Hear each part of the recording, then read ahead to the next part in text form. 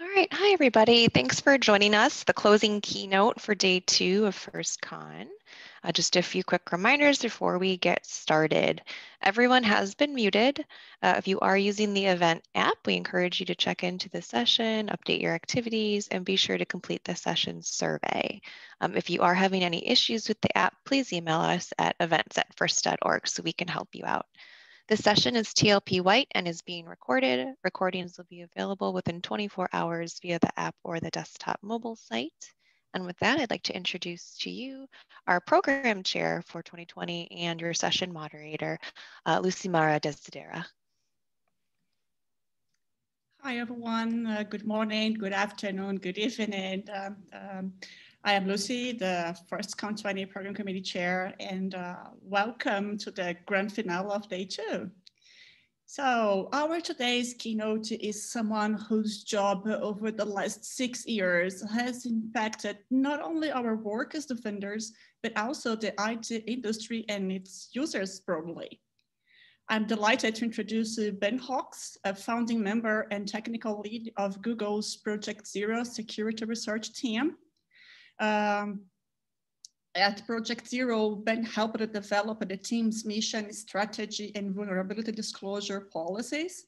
And as a researcher, he discovered many vulnerabilities across a range of different software platforms. And this presentation, Ben will bring you core aspects of the vulnerability disclosure debate and provide insights based on Project Zero's experience. Please don't forget to make your questions using the Q&A tool on Zoom. And uh, Ben, the floor is yours.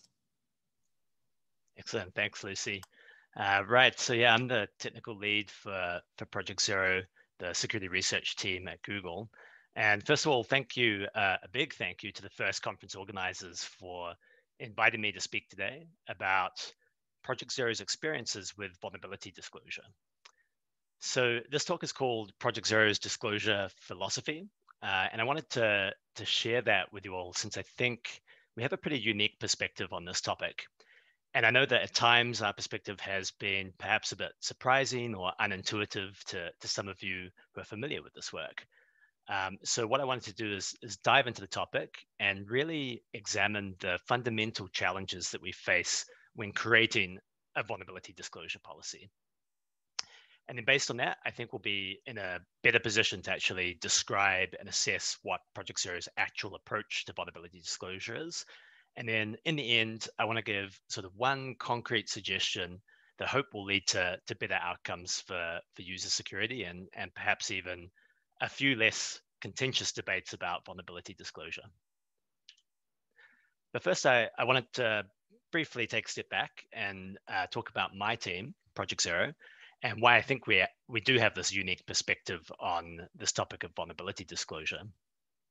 So we were founded, uh, as Lucy said, back in 2014 uh, with the, team mission to make zero day hard.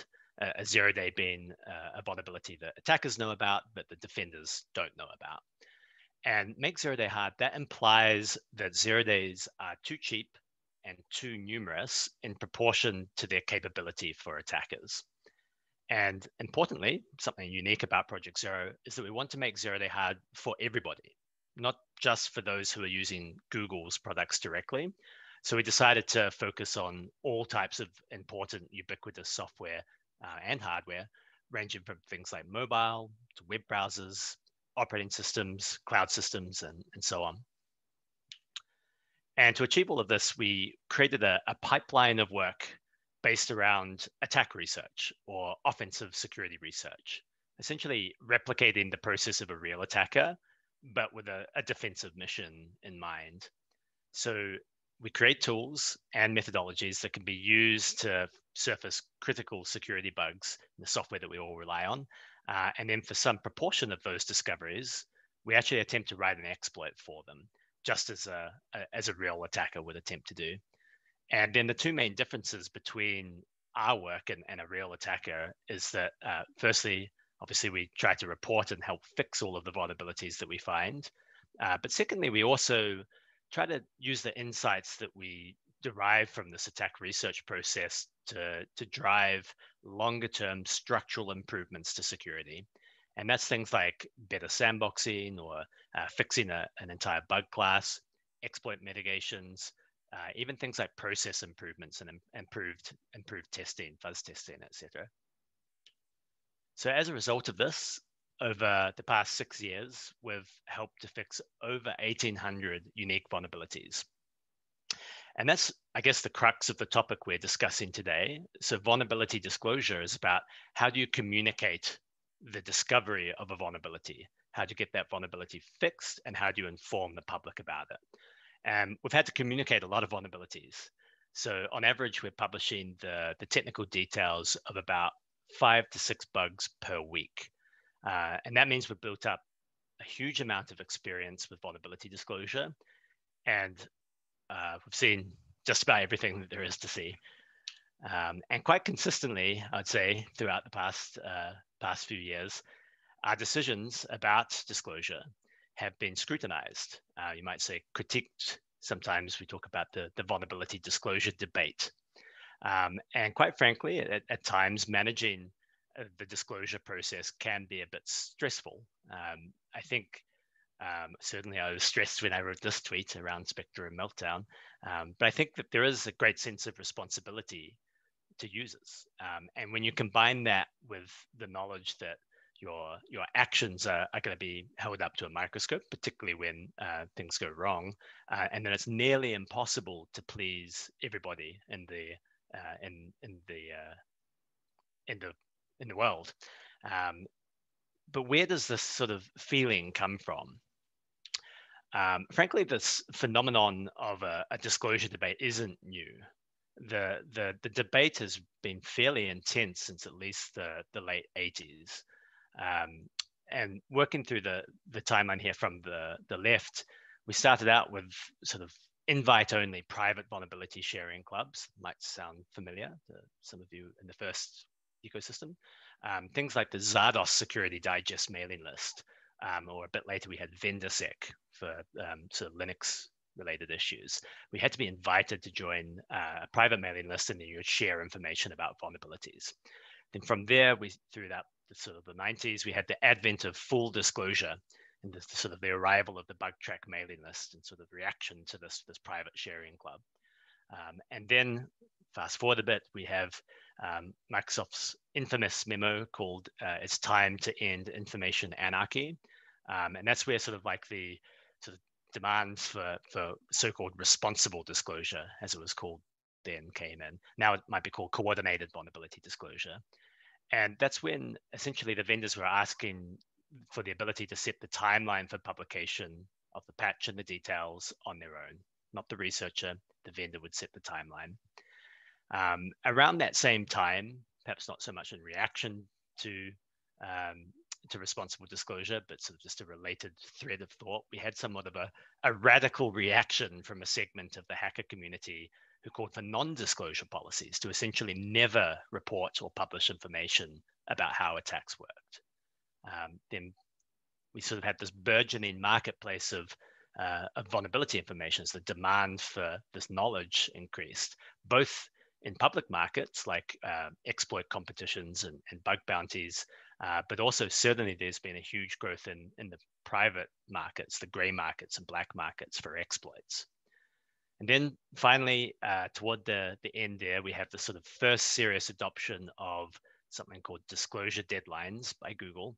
And that's essentially the precursor to Project Zero's current disclosure policy. So it's a long winding path to where we're at today. And throughout all of this time, certainly we debated back and forth about which disclosure process was the best. And I think it's fair to say that 30 years later, the debate is still as fierce as ever. Uh, but why is there a debate about this at all? Why is it so hard to agree on the best way to handle a vulnerability once you've found it? Because on the surface, it doesn't seem like a very difficult problem. Um, but alas, if you dig deeper, it, it does somewhat make sense that there's so much disagreement about disclosure. There's three reasons why. Imperfect data, conflicting models, and divergent goals. So let's quickly dive into each of these root issues so that hopefully we can understand a bit more about the challenges we face when trying to agree on a disclosure policy. So in perfect data, uh, what we know is that security is fundamentally adversarial. So that means that attackers are incentivized to deprive us of the data that we need to make the best decisions possible in defense. In fact, you could even say that attackers are incentivized to actively mislead us about what they're working on. So I think if we always had perfect knowledge of which vulnerabilities were being used, by whom, and against whom, then we'd actually be able to solve the disclosure debate almost immediately. Uh, but unfortunately, I don't think we can really hope to achieve that perfect level of insight. It's not realistic.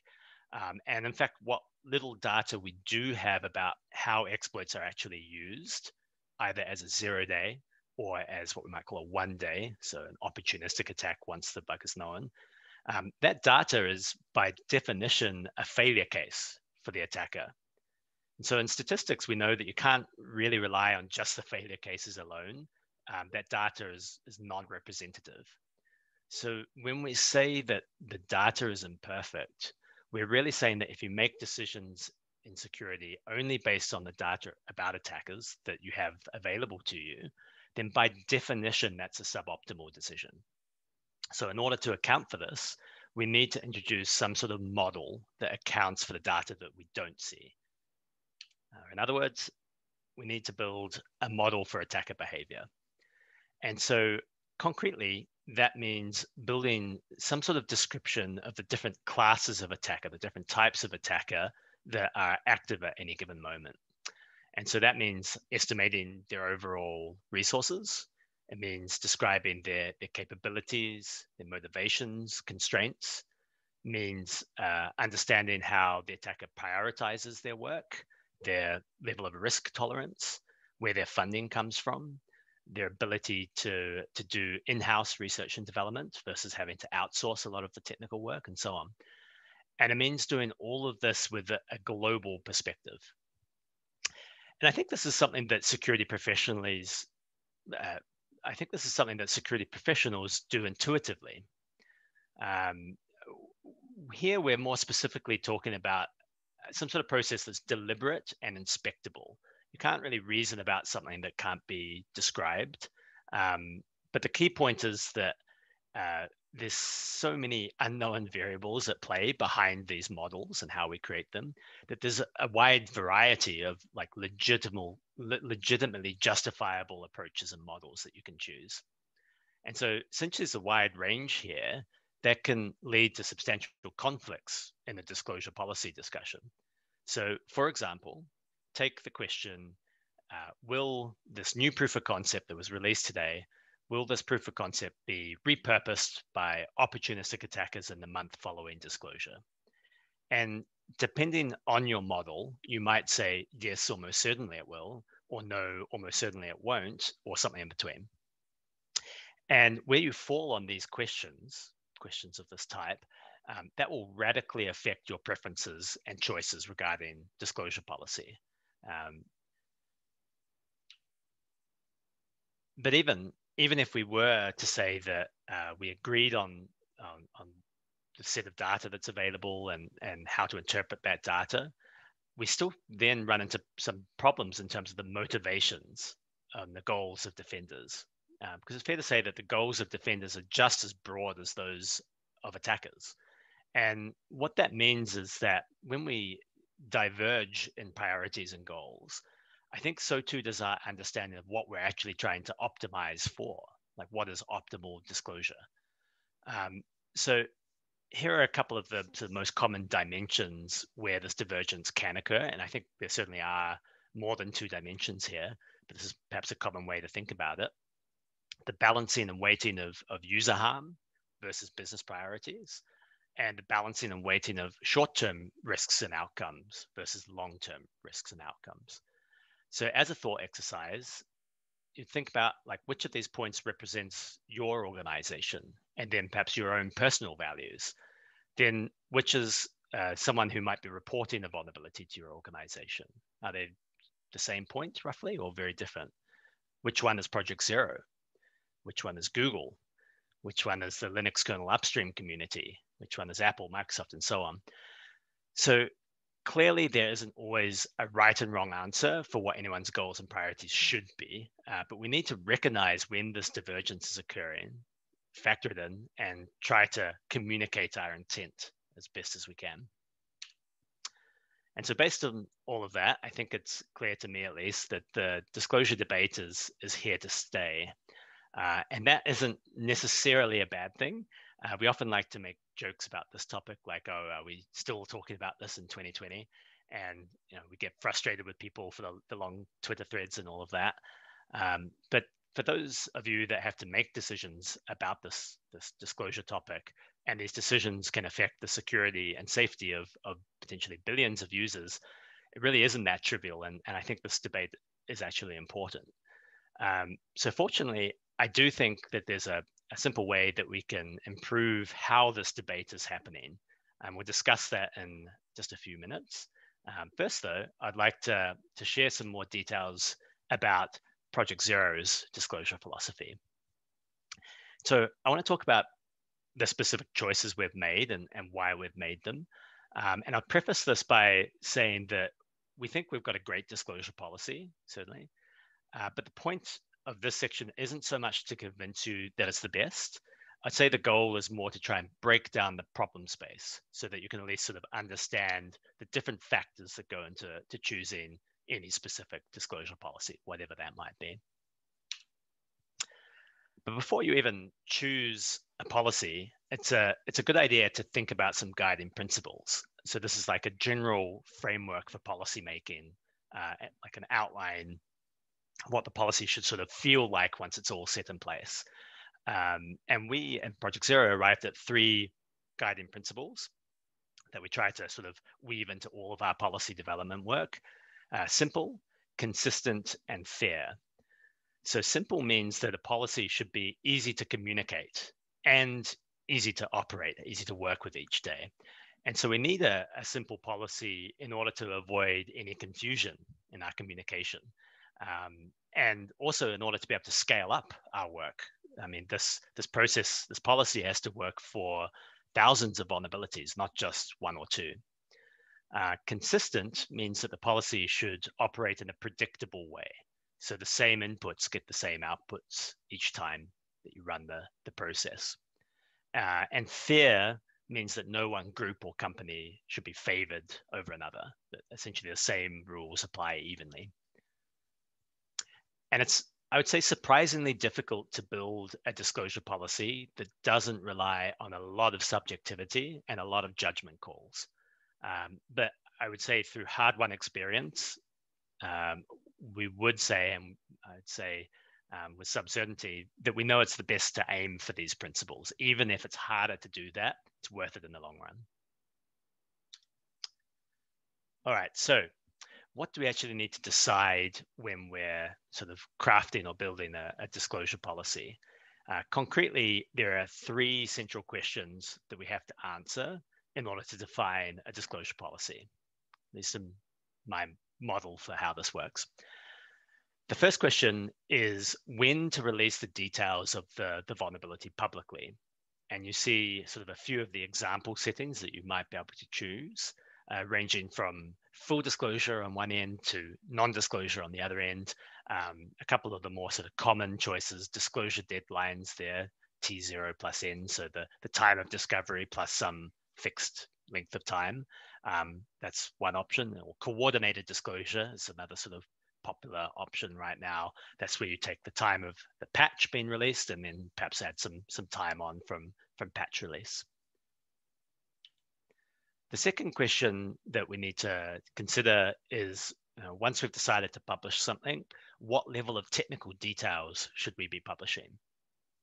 And this ranges, of course, from releasing no details at all or just some, some high level metadata, um, like in some vendor bulletins, you might just say uh, a bug class and a, a product that was affected, all the way through to releasing full technical details about how the vulnerability works, how it was patched, and how it was successfully exploited. And the final question that uh, we need to consider is who to inform prior to publishing the details publicly.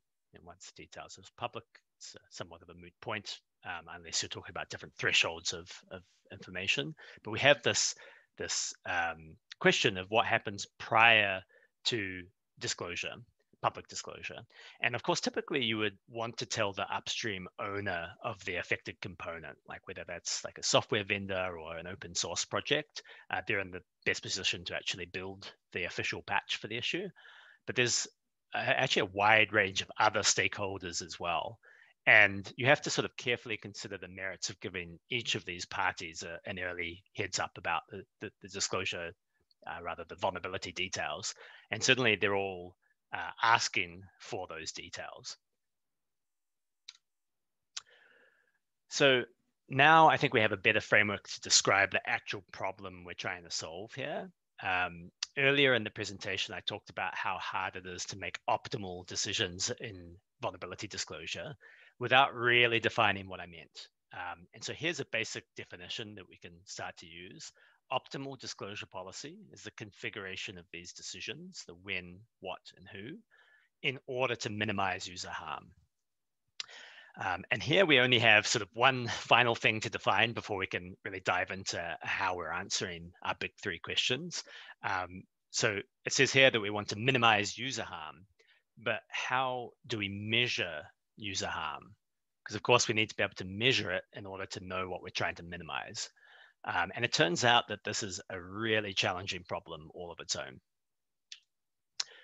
The temptation historically has been to measure user harm by counting the number of affected users. So more compromised users equates to more harm. And we know, I think, that a lot of vendors still think in these terms because they seem to like disproportionately prioritize widespread attacks. This means like untargeted mass exploitation and internet worms and so on. Um, and it seems seemingly intuitive at first glance to, to measure harm in this way by counting the affected users. But we actually believe that this is a subtly incomplete description of what we're actually trying to measure. So here's an example. If we take an exploit that's used for tens of thousands uh, of hosts to install Monero mining software, on let's write randomly selected targets on the internet, tens of thousands. Compare that with an exploit that's just used a single time, just once, but it's used on a, a high level government official by a foreign adversary with the intent to steal data that can give an upper hand in trade negotiations, for example. Something that could have like a small but noticeable effect on, on GDP. So even if we're just comparing the dollar value impact of these two compromises, it's clear that the measure of user harm here is deceptively wrong.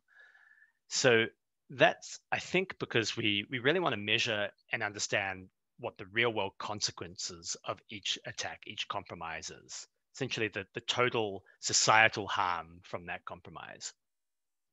And our central claim here is that while it's relatively easy to count the number of affected users by, by any given attack, it's actually incredibly difficult to reason about the total societal harm from that. Um, the consequence of a, a, compromise is not uniform across the population of users.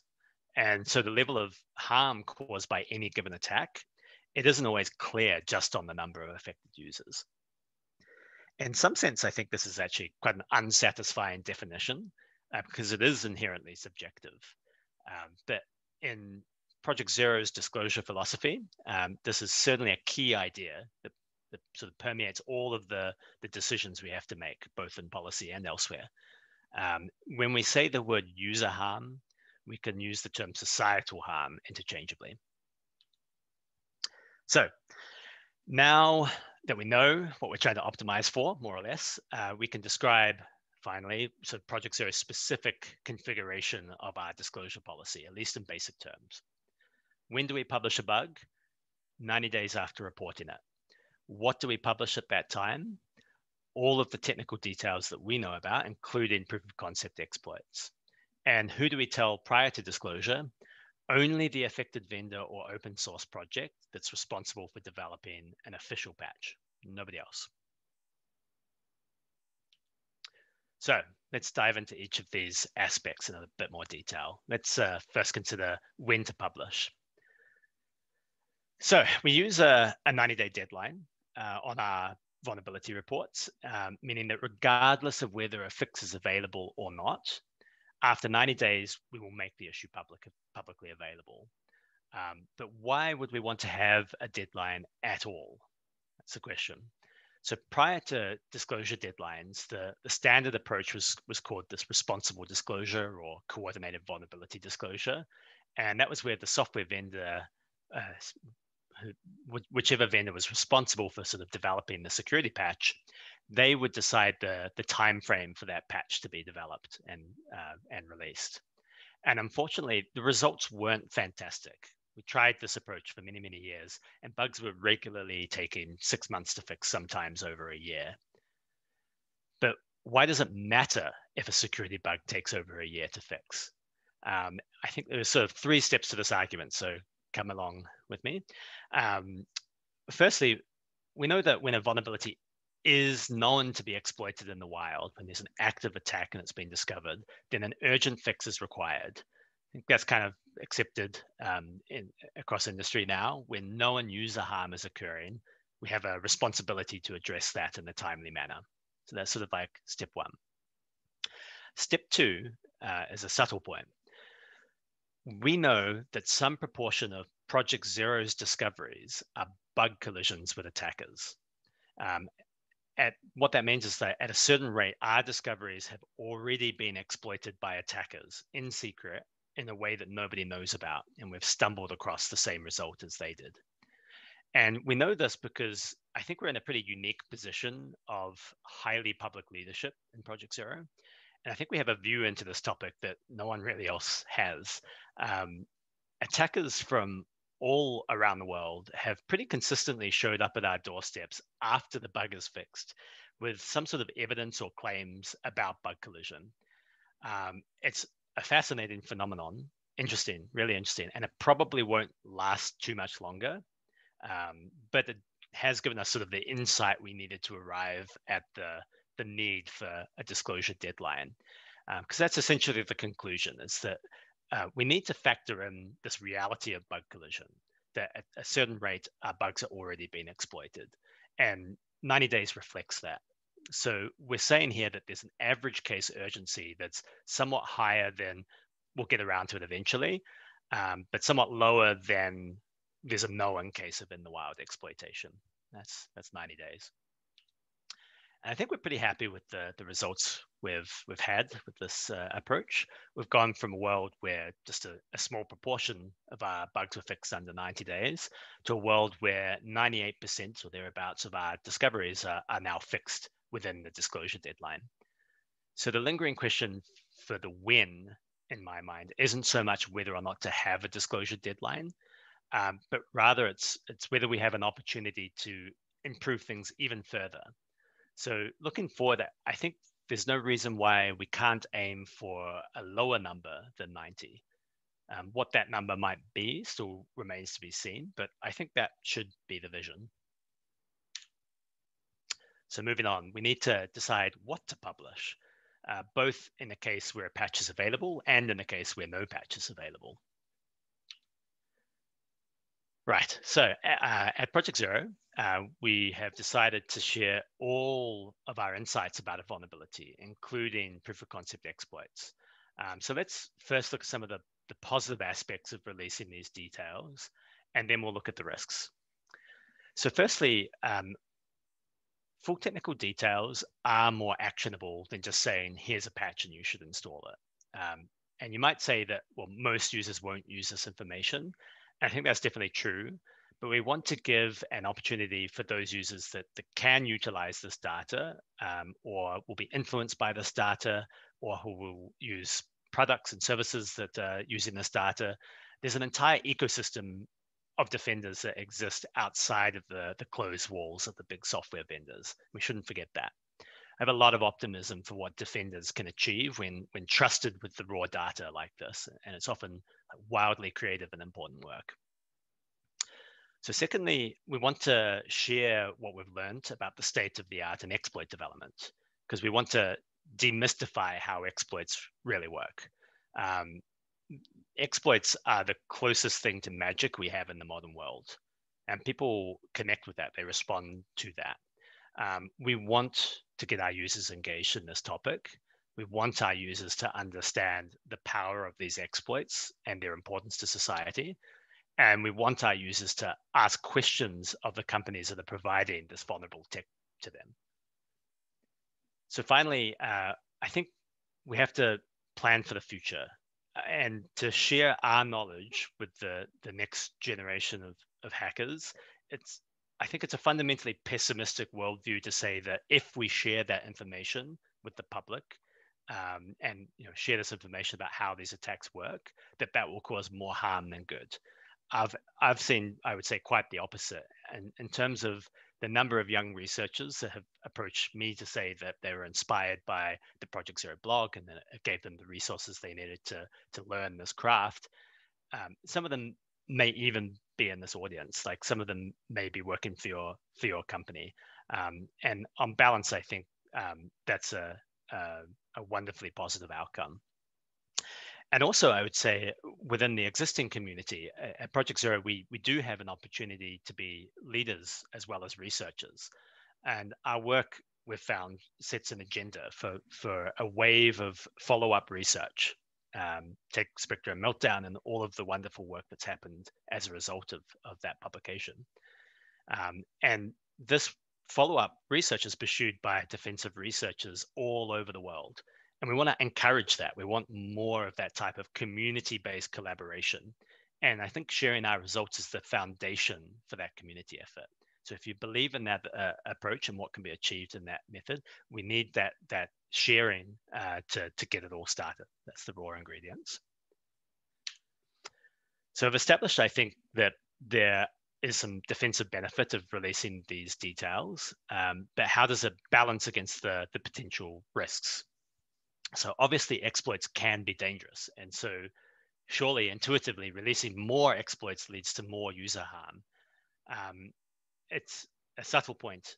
Um, it certainly has happened that Project Zero's reported vulnerabilities have been picked up and used by opportunistic attackers. We have seen that happen a handful of times, but it doesn't seem to happen very often based on all of the observ- observable data on, on one day attacks. Um, of course, as I mentioned, the, the data is incomplete, uh, but you would argue that the, the, the, data for known vulnerabilities appears to be a little bit more representative than our data on zero day attacks. What we see in that one day space is, is um, it's not very common that our, our issues have been picked up and used by opportunistic attackers. So why is that? Why isn't our, our research being used in malicious attacks very often? I think the main reason is that there's a mismatch between capabilities and motivation. So remember that, that most of Project Zero's disclosures are one part of an exploit chain. And that in a modern operating system, you often need like three or four or five individual bugs to compromise remotely the, the entire system. It's like due to all the, the sandboxing and exploit mitigations and so on. So you need a, a pretty high level of skill to complete an exploit chain from whatever initial ingredients Project Zero has given you.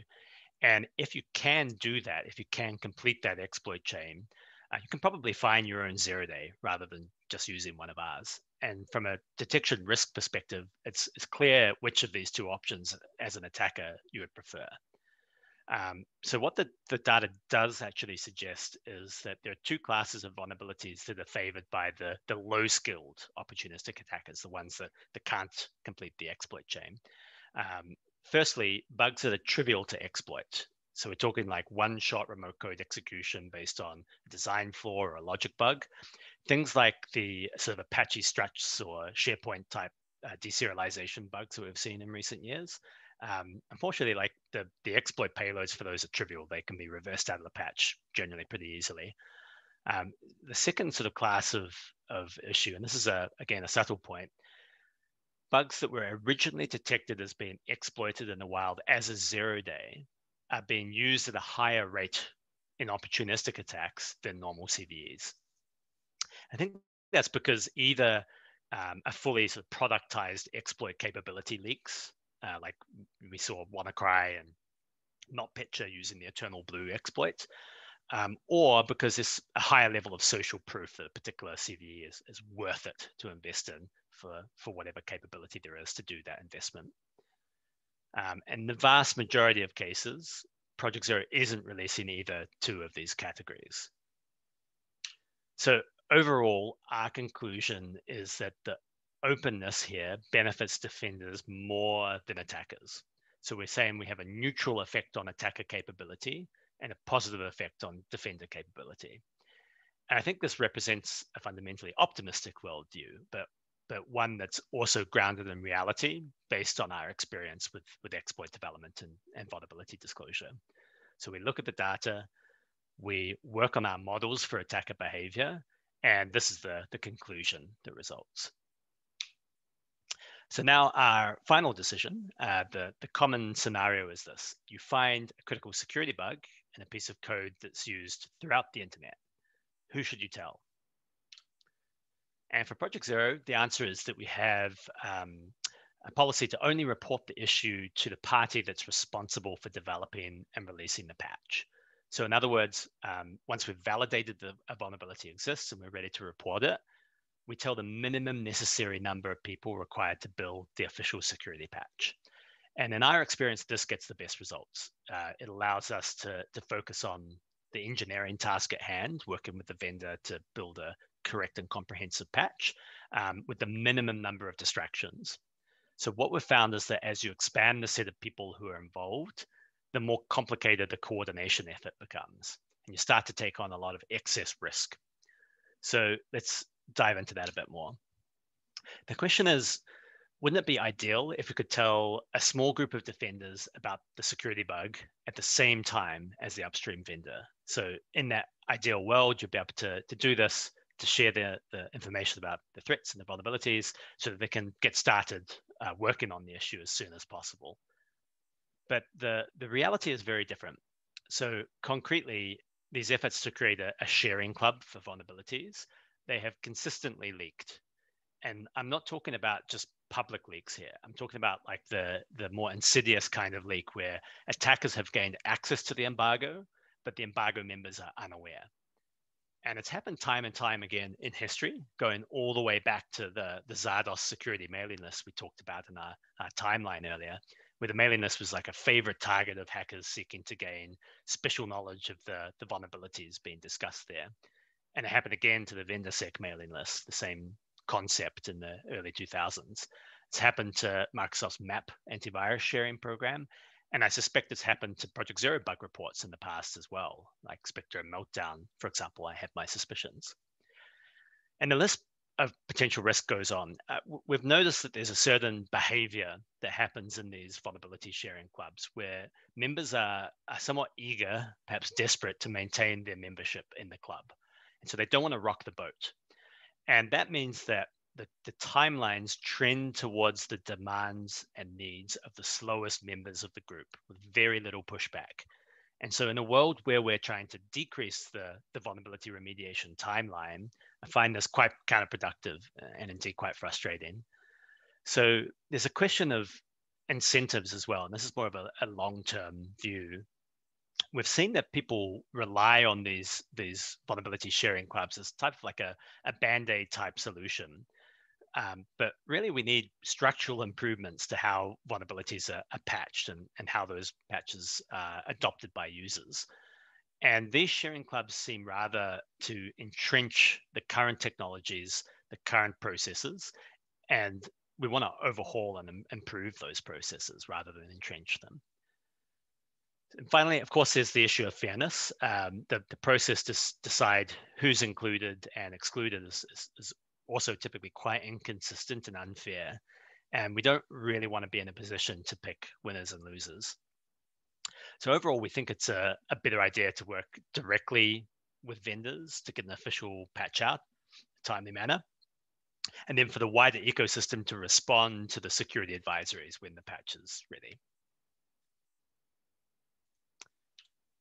So that's how we arrived at the answers for our big three questions, trying to achieve a, a policy that's optimized for user security, but also simple, consistent, and fair.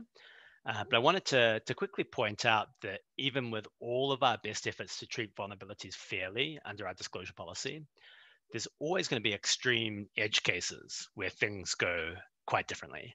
Uh, and I think it's fascinating to inspect those extremes to see what can be learned. So here are, are two examples that had quite radically different outcomes. Firstly, um, a couple of weeks ago, we discovered and reported a vulnerability in FreeType, a font library, and it was being actively exploited in the wild against Chrome users. So we reported the bug to Chrome security. One day later, there was a new Chrome stable release with the fix included and a new version of the FreeType library the day after that. It's pretty amazing. At the other extreme, Project Zero discovered and reported the CPU vulnerabilities known as Spectre and Meltdown, and that involved uh, an industry-wide embargo that we were brought into somewhat reluctantly, um, involving a, a, huge number of organizations, CPU vendors, hardware OEMs, operating system vendors, browser vendors, and more. It's like a lot of people. And it took 216 days between nearly over seven months um, between our initial bug report and the first public release of details. And over seven months, and that embargo leaked, and the patches at the end of it were only partially complete. So obviously, the the, the complexity involved in these two responses is quite different on, on multiple levels. But I think the point is that we should be working on decreasing the distance between these two cases. I think it'll be interesting to revisit this exercise, let's say in like 10 years' time, because I think the distance is actually closing. And one day we'll have a reasonable shot at responding to bugs like Spectre in days rather than months. I think that's the goal. So certainly there's there's cause for optimism, uh, and certainly I think the 90-day disclosure deadline itself isn't as controversial as it once was. Uh, but we still have some big challenges in, in disclosure, and here's a, a, few that have been on my mind in, in 2020. Firstly, um, while the patch timelines have improved a lot, patch correctness is still a problem. Like the rate of, of broken or incomplete patches is very high. Um, and we've been finding a lot of variants, and this is pretty concerning because we know that attackers are looking for these variants as well. So secondly, uh, while we had um, some success recently with the FreeType bug and others, um, as a whole, I think the industry response to actively exploited zero-day vulnerabilities, those, those are zero days that we know are being used in the wild. I think it needs a little bit more work. The, the, the outcomes are very inconsistent at the moment. So it's fair to say that there's less industry consensus around how to handle dis disclosure for actively exploited bug reports. Uh, and that's something we've committed to working on in, in 2021. So finally, uh, we said earlier that exploits are magic, but people fear magic.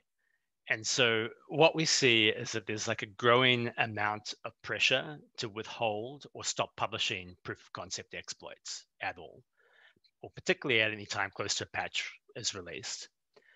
And I suspect that this is going to be a longer discussion uh, that plays out over the next few years. But I wanted to share my fundamental fear is that in a world where we can't publish information about how exploits really work, then the private state of the art and exploit development will move so far ahead of the public understanding of it that we'll just never be able to catch up again. I think that divergence would be really scary. But let's focus on the, the here and now. Um, and I promise to finish with a, a, simple idea that I think can improve the disclosure debate. So let's return to our, our three core reasons for the debate. Um, and look at where we might make some progress. I think imperfect data is hard to solve. Uh, perhaps we can improve like the level of information sharing, surfacing more data. Um, that might be possible. Um, divergent goals, I think, is also hard. I think we have to accept that different people have have different motivations, accept to move on. So it's in the area of conflicting models. I think we can make some quick uh, improvements. And the, the answer is qualitative forecasting, also known as making predictions and keeping score. And really, it's the work of uh, Ryan McGeehan on his Medium blog that has been the, the catalyst for me to realize the importance of this approach. Uh, he ran a few different studies that used expert panels to forecast outcomes related to vulnerability disclosure. And I thought the results were fascinating. So here's an example for the Bluekeep vulnerability. He asked a group of experts the question, will exploitation of Bluekeep be observed by the security community in the wild? Then he tracked the panel's accuracy in making these predictions. So why is this important? Um, this is essentially a test of the panel participants' model for attacker behavior. That the more accurate their model of the world is, the more accurate their predictions will be. So it gives us a, a structured way to bridge the gap between our different conflicting models of attacker behavior. And the results were, I think, fascinating um, because it, for me, showed that security experts weren't making very accurate forecasts at all the, the, the predictive power of the panel was little better than like an even odds guess on each outcome. So here's our one suggestion for the path forward to improving the disclosure debate. Make predictions and keep score. So let's take Ryan's initial work and scale it up. Let's get more people involved in this and let's make it a regular thing. Um, this is a, a new goal we have and, and something that we're uh, exploring in Project Zero and looking at funding, the, the pandemic has slowed this down a little bit. Uh, but I'm happy to say that the initial interest is um, very high, and we're hoping to have something up and running next year. Once that's up and running, I think we can get serious about using the results. Um, specifically, we can borrow some techniques from statistics and probability assessment. And in particular, Ryan has been using the Brier score, which gives you a concrete measure of a panel's predictive ability. It's the mean squared error of all of your predictions. So the lower the score, the better your predictions are. Simple.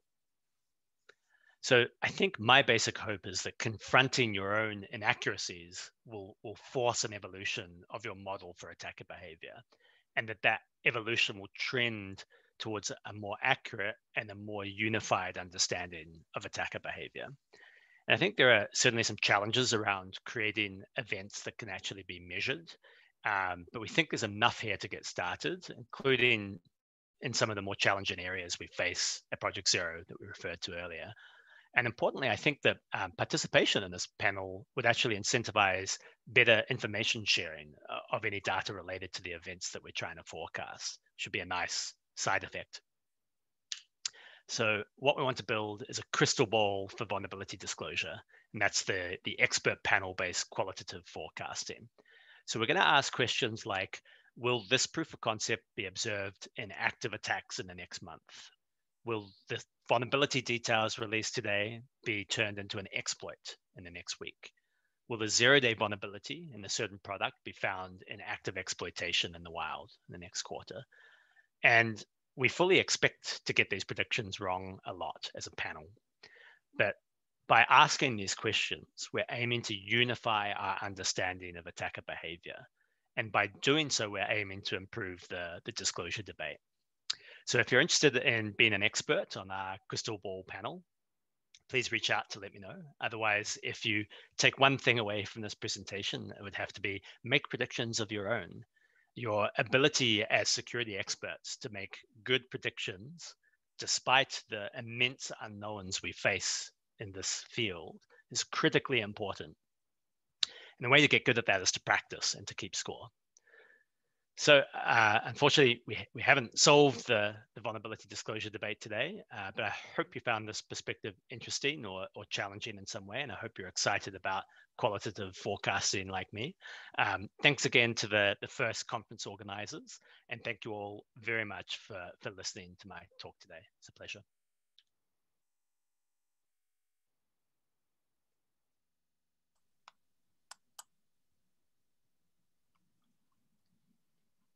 So thank you so much, Ben. And uh, we have plenty of questions here. Oh, sure. yeah, so let's get started with that. Um, I will I will I will throw uh, in order they arrived there. I will try to find if it, those some have some uh, uh, correlation. Maybe do it if they have a, a making just one. But I will start with David Head. Uh, with the disclosure time, would you in the future include more details for verification tests more than exploits, capability itself, openness for proactive defenders? Yeah, good question. Um, so I think it's really hard to separate the two. And this is one thing we've we've learned is that um, when a patch is released and you want to sort of check if you're affected by a particular issue or you want to verify if a patch is actually working as intended, um, we have certainly the ability to, to build verification tooling, which is essentially the proof of concept repurposed as a trigger with um, perhaps some better logging or um, integration into um, you know, maybe an XML based output format or something like this that you can automate. Um, but the key point is that the difference between that tool and a POC is actually fairly minimal. Um, certainly in terms of the POC triggers that we're often often releasing. And that's one thing I think we've, we haven't done a good job of is describing the terminology, the difference between what is a productized exploit that can actually be used versus a proof of concept exploit that kind of works in a lab versus a trigger that just sort of demonstrates an issue um, versus just some uh, lightweight details. Um, and one thing we do know is that the, the regardless of the level of details we share, attackers are incentivized to analyze the patch and to work out what the bug is themselves from the patch details. So even if we're not releasing any details, uh, the truth is that attackers will still learn those details. They are incentivized to, to learn those details. So it's just an interesting side point on that. Good question. Okay, uh, question from Art Manion. Uh, how silent is a silent patch? Right. Well, I think that's related to uh, uh, what I've just just mentioned. Is um, silent patches are silent for defenders, but they're not silent for attackers. Attackers are very skilled at um, reversing engineering patches to to assess the root issue. Um, having the the details of the vulnerability public, um, we have you know, reasonable claims to say that that's saving a matter of hours, not days, um, for attackers. Um, and so when a silent patch occurs, defenders do not have the resources nor the motivation to actually go and study the details of the patch. Um, they need uh, better ways to consume information, actionable information that they can use to defend their systems. So that's a big asymmetry. That's where we think that if we were to end up in a world where we can't talk about the details of a, a vulnerability in a timely manner, that's actually favors attackers because it slows defenders down and attackers are going to get that information anyway. Thank you. Uh, uh, just a, a, comment, another question. Uh, this was a fantastic review and I greatly appreciate it from uh, Matt Stamper. I appreciate that. Thank you, Matt. Uh, Jessica, uh, do you find the 90 day deadline to be sufficient or can you see this changing in the future? Yeah, um, I did foreshadow that a bit. So we don't have any active plans, like immediate plans to, to change the 90 day value. There's two sides of this. There's, there's the positive side where there are certain technologies, certain vendors that are doing so well that we think um, that they could probably quite consistently achieve something lower than a 90 day deadline. Uh, there are also a few areas where um, we have like a long tail in terms of our ability as an industry to respond. I'm thinking like uh, microcode patches or firmware patches, um, uh, expanding out into the IoT world, etc. The the there is a long tail of, of issues that I would probably struggle right now to, to make a 90 day um, deadline consistently. Um, the vision, I think, um, 90 days uh, let's rephrase this. I think if I was to make a prediction, let's say 30 years out, we'll look back at our time today and look back at that 90 day figure and just it will boggle the mind that security bugs aren't patched in a number of minutes or hours. That's the time frame eventually we will be talking about. Um, and how we incentivize the, the research and development that needs to happen, the innovation that needs to happen to, to bring the world to that place? That's a great question. Um, so fine tuning the 90 days may or may not be enough to, to incentivize that innovation, but that should be the vision. It's like uh, there's, there's no good reason why we can't fix all of our systems, hardware, um, firmware, software in a, a, a, timely manner. Thank you. So have you considered, from Perry, uh, have you considered to open a time gap between the 90 days deadline for disclosure and the day in which the exploit, the POC, uh, especially for the trivial RCEs, in published? If not, why? So we think we we did incorporate feedback from vendors that they were concerned about patch adoption and the the fact that um, even um, vendors that have a very good reputation for for um, delivering patches in a timely manner and for their users to be patched um, or to, to take that patch um, they were giving us feedback that it still takes you know a number of weeks, uh, potentially even months, for the ecosystem as a whole to to reach sort of a, a saturation of a patch adoption.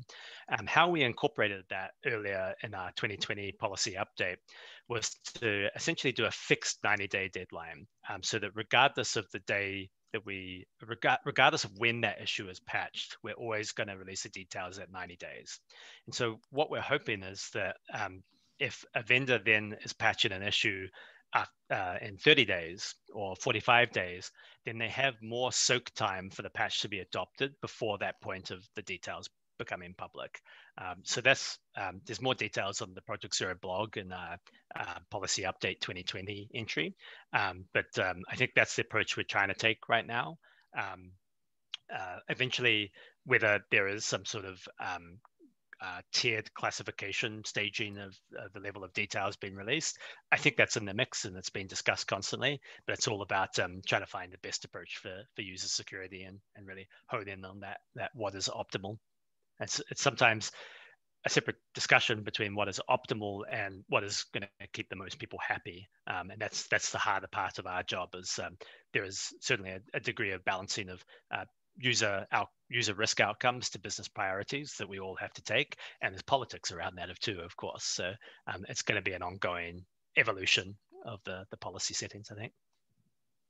Thank you uh, anonymous anonymous attendee uh, why can't you disclose in 90 days but wait three weeks after disclosure to post a poc or deeper technical content to give customers a chance to get the fix. It's kind of comment. Yeah, I, I think yeah, I think that's essentially addressed in the the the, the previous answer.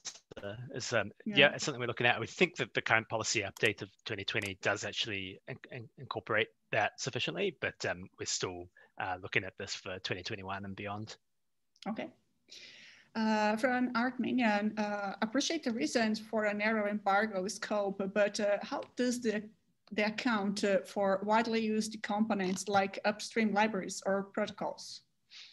Yeah, so we, we tend to, um, in that situation, we still report the bugs upstream and we work with the upstream maintainer to decide you know, what's best for their downstream ecosystem. And what we found is that the, the upstream is in a, in a better position generally um, to initiate downstream notification in the way that's best for their ecosystem. And so some upstreams do take uh, the approach of, of forming their own vulnerability embargo, and we let them do that, um, you know, within the parameters of our disclosure policy. Um, but if an upstream vendor would prefer to just get the patch out publicly, then we also support that. So essentially, we don't think that security researchers should be making that determination about what's in the best interest for for for somebody's given ecosystem. We want to work with the upstream on on that to to get to a, a good result. Um, I think we have been pretty passive in that space, and it's an area where we perhaps could be showing more leadership than we than we have in the past. Um, and I think experimentally, I guess through through throughout the the number of bug reports we have had. Um, uh, given the characteristics of opportunistic reuse, um, I actually favor the um, openness approach to actually get the patch out publicly as soon as possible, rather than to try and maintain these awkward large embargoes between lots of different cloud companies or something like this. Um, that doesn't seem to get as good results in my experience. I will, I will jump for questions and just get uh, the Jerwin's question because he's uh, saying that it's following up on our, our question. So sometimes vulnerability leads to discovering structural problems in many products. Does that happen often or do you how do you handle that? It, it does happen often in the sense that we have a very um, intertwined ecosystem of software, and this is part of the motivation for Project Zero. It's it's um, not possible just to look at um, a modern technology stack and just look at the bits that Google wrote. We're so intertwined and we're all relying on each other's code um, that, yeah, I think that phenomenon does happen, particularly in like a library setting. And um, we know that a lot of projects now are maintaining their own third party repository. And so um, they have a huge challenge with vulnerability remediation in terms of cherry picking security fixes into their own branch, for example.